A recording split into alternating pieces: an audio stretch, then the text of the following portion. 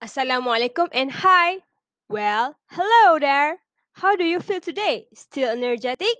So, let us continue with our group that is group 7.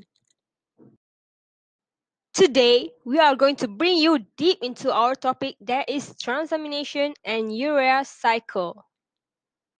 The question that have been given to us is we need to give a brief description on the transamination process and relate it with urea cycle.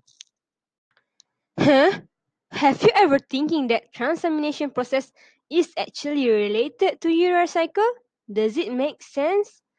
So, what do you guys waiting for? Let's get into it. Just listen, sit back and relax. Don't forget to jot down the important things too. Created using Powtoon.